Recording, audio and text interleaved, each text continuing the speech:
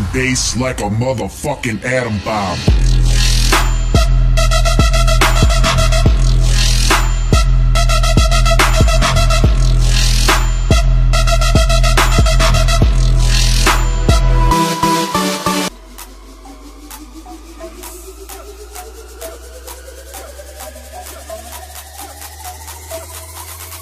Praying to Buddha.